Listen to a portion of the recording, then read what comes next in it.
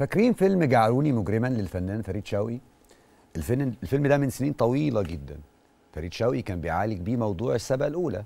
سلطان دخل السجن خرج من السجن عشان يشتغل ما عرفش يشتغل.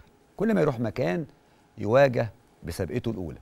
المجتمع لفظه وبقت الأمور صعبة عليه.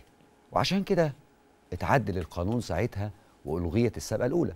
عشان ندي فرصة للي خارج من السجن إنه يعيش إنه يتعايش يندمج جوه المجتمع. وخلاص قضى عقوبته. ده اللي حصل بالظبط مع الفنانة منى فاروق.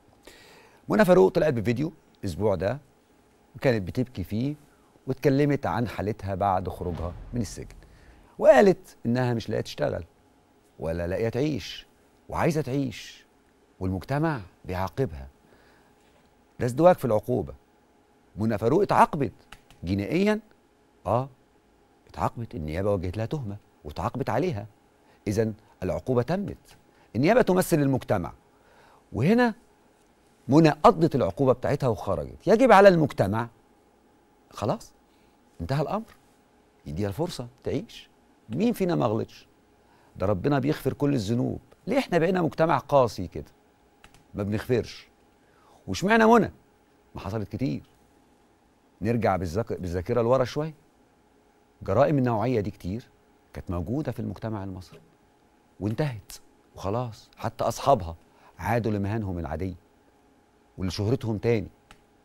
ليه منى وصل بيها الأمر ده إنها تطلع تهدد بالانتحار؟ أو تقول أنا هنتحر أنا مش لاقي أشتغل أنا مش عارف أعيش أنا مش عارف أرجع مؤسسة تاني مش مهم بس أشوف أي شغل أشتغل أي شغل. ليه إحنا بقينا مجتمع قاسي كده؟ ليه بقينا ننصب نفسنا جلادين؟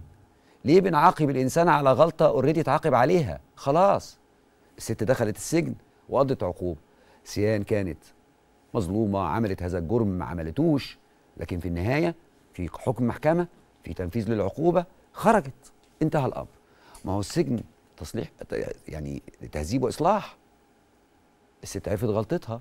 انتهى الأمر. لكن إحنا مصرين عندنا إصرار رهيب إن إحنا نعاقب الإنسان. وده أنا بقوله مش عشان منى بس أنا بقوله علشان كل واحد دخل السجن وخرج هيعيش حياة كريمة.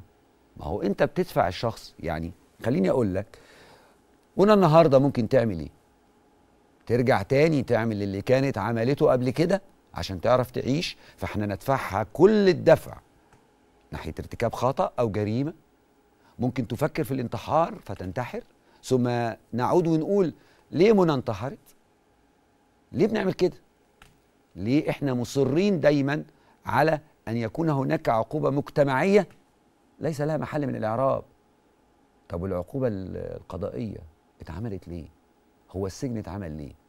مش عشان الناس. لما تغلط تتحاكم تصدر أحكام تنفذ تنفذ هذه الأحكام في السجون يخرجوا يعيشوا في وسط الناس.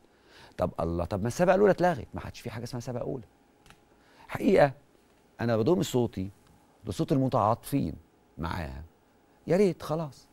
الست دخلت السجن وخرجت. تقضي حياتها تعيش تشتغل. لو كانت منى افلتت من العقاب كنت أنا هنا في البرنامج ده هقول لا تتعاقب تتحاكم تتحاسب. لكن إذا ما هي قدمت الضريبة دفعت الفاتورة يعني فاتورة غلطتها ما يجيبش دفعها مرتين وإلا ده يبقى اسمه ازدواجية. الحقيقة بناشد المجتمع المصري إحنا كنا مشهورين بالرحمة والتعاطف والحقيقة إحنا بقينا غراب قوي يعني أحيانا عندنا ازدواجية نتعاطف مع أمر ولا نتعاطف مع أمر آخر مع إن الاثنين يعني بنكيل بمكيالين كده يعني بنكيل بمكيالين تلاقي الناس مثلا فجأة لما مطربي المهرجانات طلعوا لنا برشوتات كلهم وكل واحد طلع بقى قال لك أنا اللي عندي مش عارف إيه اتعاطفنا يا جماعة دول مرضى. واحدة تانية قضت عقوبة وخرجت مش عايزين نتعاطف معاها.